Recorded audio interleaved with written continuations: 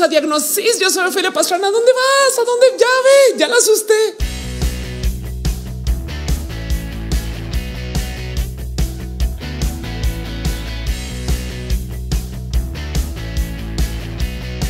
Estoy con Aliana, quien, eh, a ver, un momento, les cuento un poco. Estoy en Pereira, de hecho, porque vine para un evento que se llama Festival D, que se hace, es la segunda vez que se hace, ¿correcto? Sí, es la segunda vez que se va a hacer acá en Pereira y pues es una novedad que para la comunidad LGTB ya se esté haciendo esa clase de festivales.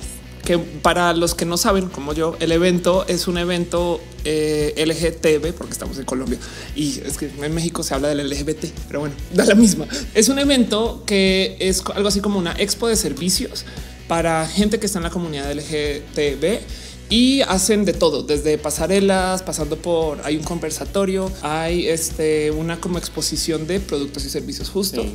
Y evidentemente está Taliana y ella es, ella es parte del evento. Bueno, mentiras, más bien. eh, justo voy llegando y en lo que llego eh, me sacan del aeropuerto y me, me suben al monte. En lo que yo voy pensando, pues a lo mejor me llevan a una casa lejana. ¿A dónde voy? Voy viendo el GPS, el GPS ya no marca vías, ¿dónde estoy? Entonces, de repente llego al final de todo, el- de todo este camino a un, ¿cómo le llaman? Eco hotel. Eco hotel. A un eco hotel que básicamente es un lugar en la mitad de la montaña perfectamente callado, dedicado a hacer el hito a la cultura gay. Entonces, de- solamente a vista, allá atrás, y ahorita les muestro fotos, tengo uno, dos, tres, cuatro arcoírises. Todos los cuartos tienen temática como muy es, De los inspirada. Exacto, que es, que es inspirada, son dioses y diosas, ¿no? Sí, son dioses y dioses del Olimpo. Ok, ¿y cómo se llama este lugar? Sacramento es algo entre lo bueno, lo malo. Y yo pienso que Sacramento es, es un ecotel que se hizo para la comunidad LGTB, pero realmente es un espacio donde es muy tranquilo, donde como el lema pasión y libertad en un solo lugar. Y es muy, muy, muy lindo estar acá y se nota que es un espacio, eh, digo, la palabra sería de ambiente, pero es, un espacio para aquellos que les gusta este aspecto de lo LGBT. Tienen un columpio afuera, todo está iluminadito, este con todo tipo de colores. La verdad es que yo estoy feliz como nunca y el trato ha sido fenomenal, pero, pero en esas también me topé ayer justo contigo y hoy estaba viendo más o menos como a qué te dedicas. No, no sé si nos quieres contar un poquito eso también. Me interesa mucho porque si la buscan ya en Facebook, prepárense para ver las fotos más guapas. Que así, así como cuando me dicen, no, es que en Colombia las viejas son muy buenas. Yo sí, güey, sí. Y de eso que no has visto a las mujeres trans colombianas. Pero este, tú modelas también, ¿no? Sí, eh, pues yo soy tecnóloga en hotelería y turismo. Y sí, soy modelo, soy la actual señorita Rizaralda. Y pues hago, me desenvuelvo mucho en eso, en el medio. Eso es prácticamente todo lo que hago. Bien. Y ayer también estuvo acá, señorita Colombia, Colombia. Miss Colombia. Ok. Daniela. Que, que des- des- des- después por ahí este, subiré fotos o algo así, les muestro. Pero sí es impresionante porque resulta que aquí, por lo menos en Pereira, entonces hay una cantidad de personas que se dedican como a tema de hacerse imagen, ¿no? Sí. Es que fíjate que, eh, por ejemplo, en México hay concursos de belleza, pero trans, que yo conozca muy pocos. Si saben de muchos, avísenme. Y luego, y, y cuéntame un poco de cómo vives tú la comunidad LGBT eh, acá, ¿no? O sea, a fin de cuentas, si sucede todo esto y existe este lugar, imagino que hay una cantidad de gente como emocionada aparte de la comunidad también. No, sí, total. Yo siento que Pereira pues tiene muchísima gente de la comunidad y nosotros pues intentamos como resaltar lo mejor de cada una de las mujeres trans. De acá todas ya tenemos, eh, estamos en puestos diferentes, siempre estamos buscando como, ya que no es lo típico que la gente se acostumbra a vernos o como nos etiquetaron. Entonces eso es lo que nosotras hacemos ya, como al mostrarnos como tal en lo que hacemos, en los certámenes de belleza que sí hay muchos, porque acá sí hay muchos, pero, pero bueno, hay unos que tienen más magnitud que otros. Claro, de acuerdo. Y son literal de irse a arreglarse y presentarse, ¿no? Sí. Qué miedo. ¿En serio? ¿No le gustaría ser reina? ¿De qué sería reina yo? La pastrana en un, En un, en un ajá, reinado. Pero de qué sería la. de porque yo podría ser como la reina del Arequipe. La reina de la Arequipe, la reina Ah, dulce. No, y acá lo hacen, bueno, No. no, la Arequipe, acá lo hacen de, de las frutas y hacen muchas cosas que pues, pero bueno, igual todos son reina y todo es como por resaltar y mostrar la, la comunidad en su sentido bien, sin las etiquetas que nos manejan. De paso, la historia que me están contando ayer, Miss Colombia quiere ir al concurso internacional trans, que es Miss International Queen. Y tú la conoces también hace rato, ¿no? De paso. Sí, a Dani, sí, ella y yo somos amigas, uf. Sí, se nota. Este, estás con ellas dos segundos y este, eh, no, no- no sabes si ellas saben que hay gente viéndolas. Pero bueno. Cuéntanos la historia también de Dani. Eh, pues Dani lleva en este tránsito ya como un año. Ya lleva una- como un año en este tránsito. Eh, ya es una mujer guapísima. Aparte de que es muy estudiada, conoce mucho el tema y ya se le dio la oportunidad pues de viajar a Tailandia y pues es una super oportunidad para ella y pues para nosotras como trans que ella sea la representante. Y en tu caso, ¿te da algún poder ser señorita Risaralda? Es más el conocimiento y más el trabajo que se hace por la comunidad, porque es mucha labor social la que se hace como reina. Y es una experiencia muy bonita, es una experiencia muy bonita porque resaltamos, como digo, todo lo que es la mujer trans. Y para mí es un orgullo representar a todos los risaraldenses. Ok, pues igual y dense una miradita por cómo es el hotel, eh, todo lo que hay en Pereira. La verdad es que sí suena muy lindo. No me, no me puedo pasear mucho por Pereira, pero mañana voy a estar completamente desaparecida entre todo lo que es el festival. Y ahora igual y, me gustaría saber también un poco más de ti. No, sé si nos quieres, si quieres como medio contar tu historia un poco y porque ahora quien se pregunta es que solo, siento que lo tengo que decir es trans. Este, es que es casi de mi vuelo, ¿eh? Es que en México, en México dominarías de altura. ¿Cuánto mides? 1,78. Ok, me unos 78 y, y sí, pues es que llego yo acá y de repente veo una cantidad de mujeres así como y yo, y yo necesito tacones más altos.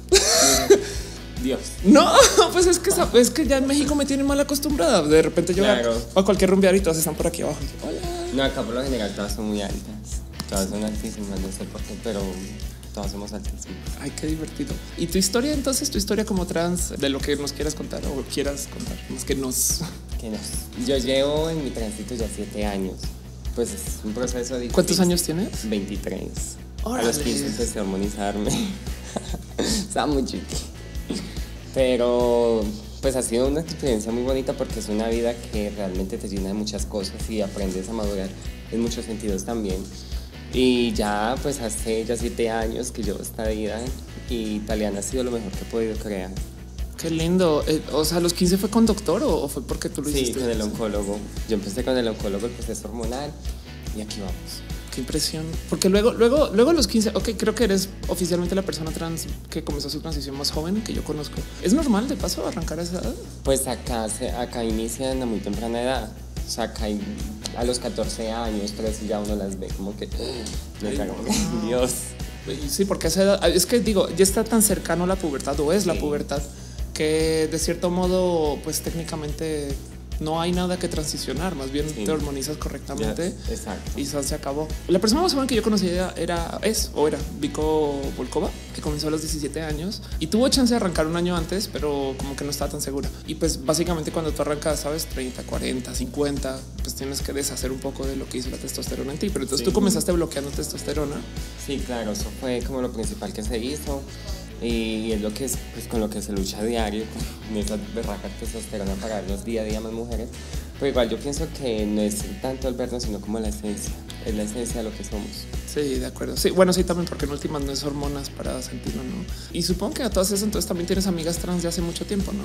Sí, tengo mucho, claro, conozco muchísimas que hacen uf, infinidad, se hormonizan, ya tienen sus cirugías y todo, pero yo pienso que el ser mujer es algo más diferente que la hormona, que la cirugía. El ser mujer es totalmente el sentirse, el tener esa esencia, ese manejo para hacerlo. Es, un- es una intensa total y eso estoy segura que ahorita apenas me pare va a comenzar a molestar con algo allá, hacer chistes acá, empujar gente, decir mentiras. Es, este, es, es bien lindo porque igual y trabajas acá, ¿no? Entonces te tengo súper secuestrada. Sí, Eh.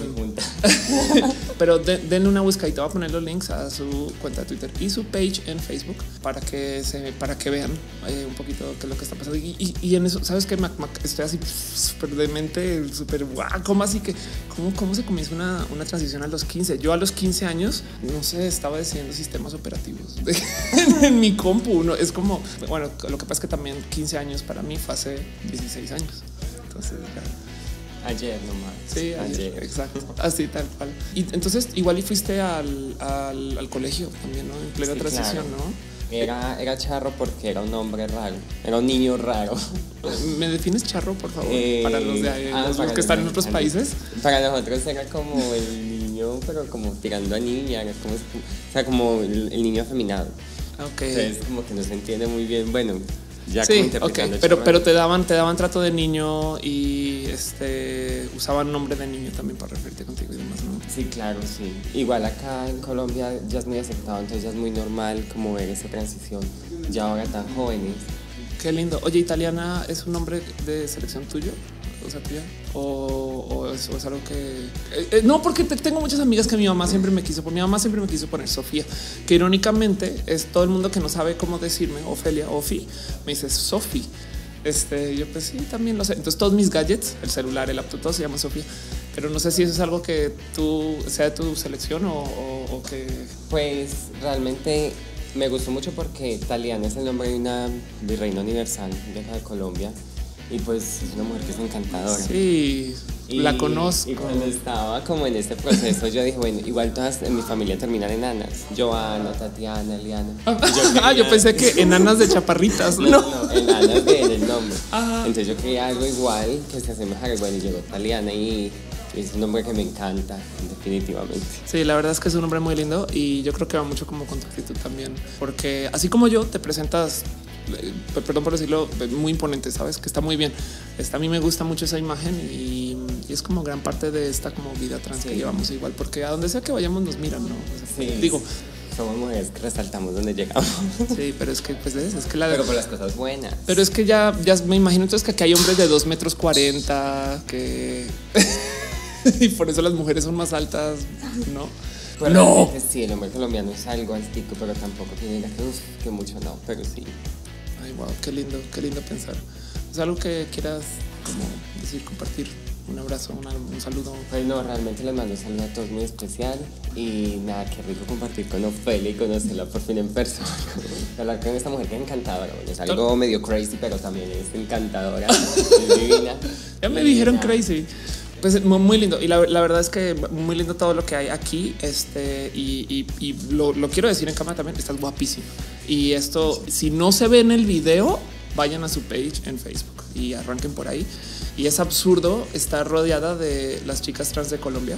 Porque es muy normal que a ti te digan, no, es que las mujeres en Colombia son guapísimas. Sí, ok. Y llegué y vi a las mujeres trans colombianas y fue de, ok, algo pasó conmigo en el proceso. Pero es, es bien lindo. Y, y ahora que me dices que las transiciones se hacen desde tan temprano, wow. Sí. ¿no? Mis respetos. Nunca había escuchado algo así en prepas mexicanas. Este, o, o también, mira, fíjate que mi colegio en Bogotá, al sol de hoy no identificó a una sola persona LGBT de mi promoción. Eso me parece ridículo, absurdo, absurdo. Entonces me parece lindo pensar que, digo mal que viene, sea más como común. Sí, acá ya es muy común. Vengan ya. todos en la comunidad, vamos, vengan acá a Pereira y nos quedamos a vivir, nos instalamos y hacemos acá este, eh, una comitiva y enclave.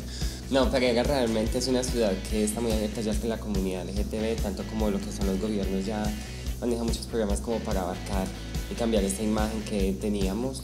Y no, y a todos invitadísimos a que conozcan Pereira, que conozcan Sacramento, a que se gocen el hotel, a que se gocen todo, porque pues realmente esa es la vida, de vivirla y de disfrutarla. Total, totalmente de acuerdo. Bueno, mil gracias. Un abrazo, un beso, bye. Un besito para todos. ¿Cómo estás en Twitter? Perdón, arrobas eh, demás. En Twitter arroba Talianita y en Facebook, en mi fanpage, Taliana Ramírez con TH. En Instagram todo. Chao. Adiós. Bueno, vámonos con las preguntas. Antes que cualquier cosa, la primera pregunta, eso atrás es el lugar de Vero, donde me hacen mis banderolas. Para Víctor González que me pregunta, Ofe, ¿es verdad que las personas trans vivimos más poco que las cis? ¿Y por qué ocurre? Bueno, la verdad, el motivo es por tres. o sea, la verdad es que hay tres motivos.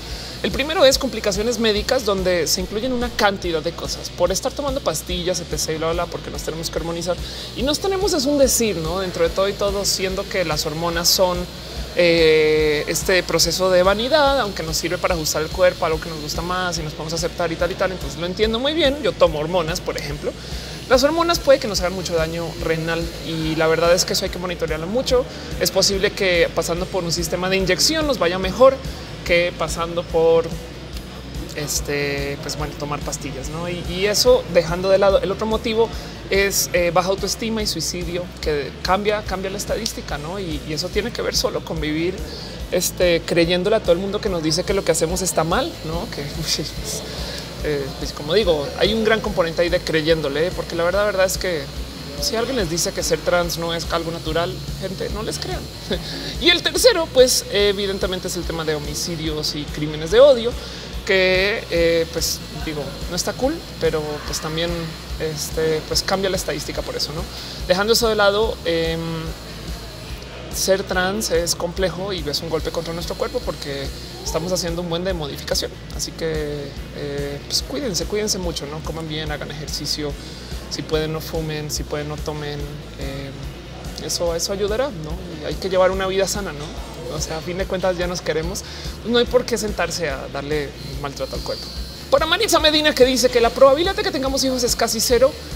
No sé decir si casi cero. Bueno, puede que no tengamos hijos nuestros de nuestro cuerpo y eso porque, y viene en un video más adelante, está el tema de los eh, úteros de, de trasplante, pero pues luego también hay muchos hijos para adoptar y tengan en cuenta que hacer una familia no está fuera de la posibilidad de las cosas de la vida. Para Alex Casares, que me dice que no le gusta su cuerpo de hombre a medias y quiere tener un cuerpo aún más masculino, no? O sea, entonces dice esto es disforia o qué hago para cambiarlo, porque él dice que él es hombre gay, pero pues quiere ser aún más masculino, barba, bigote, pelos por todos lados, músculo, voz, actitudes de macho.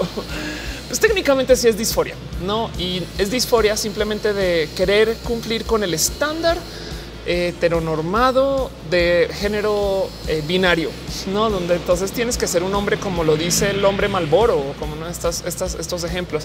Y la verdad es que te puedo decir desde ya que ese estándar de hombre se cumple muy fácilmente tomando testosteronas. No lo hagas sin un endocrino, pero la verdad es que eso es lo que hace que desarrolles más músculos. Eh, el desarrollo con testosteronas también te va a dar más eh, pelo, no sé si barba, bigote, pues a las chicas eh, que se testosteronizan y luego transicionan. Sí, definitivamente desarrollan barba y bigote muy poco, pero ahí está.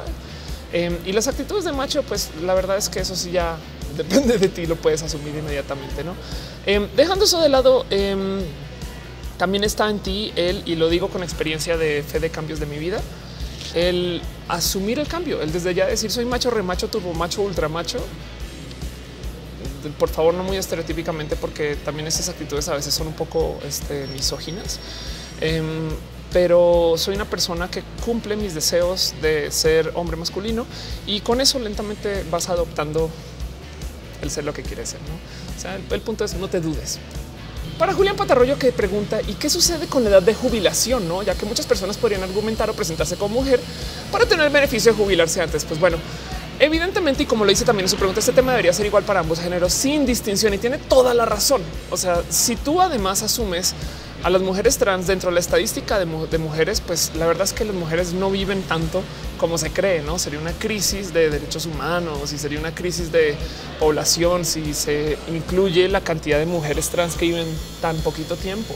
Entonces, en últimas, em, como también lo comentaste en tu pregunta de que en las competencias de alto rendimiento la distinción por género sea por diferencias físicas, dejo eso muy de lado. ¿eh? Conozco mujeres muy, muy, muy fuertes y hombres muy, muy, muy, muy, muy afeminados en su forma y en su cuerpo. Eh, de hecho, te recomiendo date una mirada, por ejemplo, a las mujeres campeonas de CrossFit para que entiendas un poquito lo injusto que es no dejar que las mujeres compitan contra los hombres. Y asimismo, también lo mismo se puede ver en el eh, fútbol femenino y el fútbol masculino, ¿no? Em, yo creo que estas distinciones en últimas son injustas con el deporte porque se podrían usar de modos estratégicos para tener diferentes ventajas, así como tú tienes en básquet gente muy lenta, pero muy buena para hacer defensas y demás y muy rápida para hacer punteros. Pues podrías hacer lo mismo con gente aún más rápida, no mujeres que son muy ligeras, tal y tal, cosas así. O del otro lado, gente no necesariamente tiene que ser hombres que sean muy pesados y, estén atrás. No, o sea, la última es que el cuerpo no, está conectado en lo más mínimo con em, nuestra apariencia y nuestras formas. No hay distinción. No hay distinción porque vivimos en una época donde nosotros modificamos nuestro cuerpo y tomamos estrógenos y tomamos testosterona sin importar el género. Para Víctor Castro que dice que siempre estamos envejeciendo y por lo tanto nuestro cuerpo va cambiando. Sí, y por eso decía que cuando naces mides tan poquito, porque nunca naces con el cuerpo que quieres porque naces joven, naces bebé. Para Guillermo Sosa que dice que llora mucho cuando lo obligan a cortarse el pelo para entrevistas o que le parece hasta estúpido juzgar a alguien por el largo de su cabello. Y tengo, tienes toda la razón. Y te digo algo, te hago una pregunta. ¿Quieres trabajar en un lugar que te obliga a cambiar quién eres para poder estar, ¿no? O sea, te aguantarías un jefe que todo el día te pida que tengas una imagen que no quieres vivir. Y lo digo no porque sí, es que los bancos, yo toda la vida quiero estar en un banco, pero lo digo porque primero que todo puedes estar en una startup que haga banca, que les valga tres tu apariencia, ¿no? Y que sea mucho más moderno sus pensares. O del otro lado, quizás lo que puede suceder es tú con pelo largo tienes tan buena autoestima que eres mucha mejor persona para trabajar que tú con pelo corto. Entonces no le, no le peles tanto, eh? o sea, no, no, te, no te entres a, no te metas a una sumisión de eh, cambio de look para entrar a un trabajo. Y más si, si de todos modos cumples con estándares de belleza, presentación, o sea, si no, si no estás haciendo algo fenomenalmente irrisorio para la imagen de la empresa, que de todos modos diría yo, premia primero uno y después la empresa. ¿eh? porque la empresa va a cambiar su logo y no te va a pedir perdón, pero pues te piden a ti que cambies tu imagen. Ey, eso es injusto. Para Lola García que me pregunta por qué hay personas que creen que ser lesbiano, ser gay o de género binario eh, o con identidades es súper cool. Pues claro, porque es súper cool. no es más. Y sí, dice hay gente que está mintiendo sobre sus preferencias para querer ser cool. Este, pues justo yo creo que más que estén mintiendo, en últimas, mira, nadie salta. Yo, creo que es un poco desingenuo o muy de niños chiquitos salía a la vida a decir soy gay sin sentirlo. Em, porque luego va a llegar alguien y le va a decir, pues bueno, y le agarra la mano y ay, no, siempre no. Em, entonces, la verdad, verdad es, es bien, bien, bien pinche cool ser LGBT. Enseña lecciones de vida muy lindas. Eh, lo recomiendo mucho, de hecho, pero pues es una preferencia. Entonces, tampoco es como que le puedes decir a todo el mundo, tienes que ser LGBT por unos años para aprender cosas. y, la verdad es que salir del closet es muy cool, te enseña cosas lindas. Por eso es cool, porque tú aprendes mucho de tolerancia, gente, aprendes mucho de cómo la gente puede ser muy diferente y aún así de todos modos no pasa nada. Cosas que normalmente no se enseñan en casa porque la heteronorma asume que todo es eso, hetero y normal. perdón, todo es normal, ¿no? ¿Quién dijo que todo el mundo nace hetero? Eso es completamente falso. Para David Eduardo que dice que se le dice a un niño pequeño que por algún motivo llega a preguntar, ¿eres mujer o eres hombre? no, pues bueno, la curiosidad un pequeño. Bueno, primero que todo el que nada debe, nada teme, ¿no? Entonces tú le puedes decir sin miedo al niño, soy ambas y le va a parecer lo más entretenido del mundo. ¿Cómo así? Eh, mira, se dice que los niños dicen las cosas más raras del mundo y si eso es verdad. Es kids say the darndest things. Pero, pero en últimas, em, siempre piensa que los niños eh, este, son quien más están dispuestos a creer, fantasear. No tienen, no traen un insulto en la cabeza. ¿eh? No te insultes tú por algo que dijo un niño y más bien diviértete con él. No es de, es más, dile, tú también eres hombre y mujer o bueno, niño y niña, no? Cosas así. Para Caleb Bid, que dice que soy una mujer muy inteligente y que lo hago dudar de su orientación sexual. lo dices como si fuera algo malo. ¿eh? Para Juan, que cuenta acerca de estar un mes para terminar la carrera, pero que no puede seguir viviendo y se presenta como hombre ahorita, pero no es como debe de ser y no sabes si es tiempo de comenzar la transición. Juan, mira, el mejor momento para empezar tu transición es ayer. El segundo mejor momento es hoy. Ya no me acuerdo quién lo dijo, pero por favor dejen en los comentarios si es alguno de ustedes. Los quiero mucho. Me parece la mejor frase del mundo. Y justo em, yo creo que eh, parte de eso tiene que ver un poco con con que luego no quieres llegar a los 70 y decir transicioné y no viví mi vida. ¿eh? En últimas, no le temas, no pasa nada. Tú a ti nadie te ha discriminado y tú estás diciendo que te van a discriminar. Eso es una clara seña de autodiscriminación. Piensa en eso, piensa en que tú deja, deja que la gente te diga ay, es que no entiendo bien quién eres y porque en ese caso te, da a ti un filtro para saber quién es idiota y pendejo y quién no. y tú te vuelves ese filtro de cosas cool de la vida en últimas. Eso, eso es ser trans. ¿eh? No, no, no tienes que esperar a que eh, te vuelvas súper triste porque la vida en últimas eh, te hace pensar que a ti te van a discriminar y no ha sucedido. Para Oscar González que pregunta cómo podríamos hacer para que salgan fuera de la comunidad LGBTTIQ estos temas. Bueno, primero que todo para eso es la marcha, no prensa, para aparecernos, que nos vean, etc. Pero dejando eso de lado, la verdad, es que es simplemente cuestión de visualizarlo, vivirlo como si nada, este, agarrarse la mano, no tenerle miedo a absolutamente nada y ya. No te preocupes porque en últimas la gente lo va a estar viendo. El próximo año vamos a tener seis shows con gente trans, abiertamente trans, en tele estadounidense. Entonces prepárate, prepárate porque ya todo el mundo sabe de lo gay, ya todo el mundo sabe de lo lésbico, mucha gente vive con la bisexualidad. ahora viene una oleada de temas de género y de transexualidad y va a ser muy lindo. Yo creo que este, lo único es nunca, pero nunca, nunca, nunca dejar de mostrarlo. ¿eh? O sea, yo, yo traigo mis banderitas a flor de piel por eso. Para ves que dice que tenía un profesor que decía que las mujeres siempre están en descontento con su aspecto y por tal motivo nos pintamos y nos cambiamos el color del cabello. Liz, en algún momento alguien le preguntó a ese profesor si él se corta el cabello o si él está eh, en completo aceptar de que el cabello crezca como crece y que nunca, nunca en su vida ha cambiado sus modos de vestir. Es lo mismo. Hay que enseñar también que así como la mujer se crea, el hombre también. El hombre no es natural, la mujer tampoco. Son creaciones de nuestra sociedad que luego nosotros se los imponemos a los demás porque comemos pegamento de chiquitos o algo así. Yo soy Ophelia Pastrana, of course en Twitter. Ya saben, déjenme comentarios y eh, besitos, abrazos.